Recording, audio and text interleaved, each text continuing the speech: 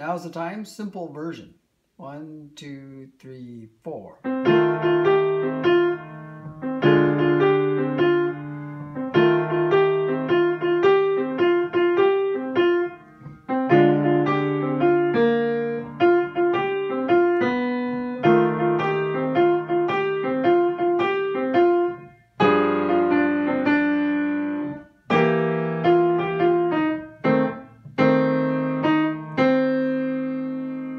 Some people have just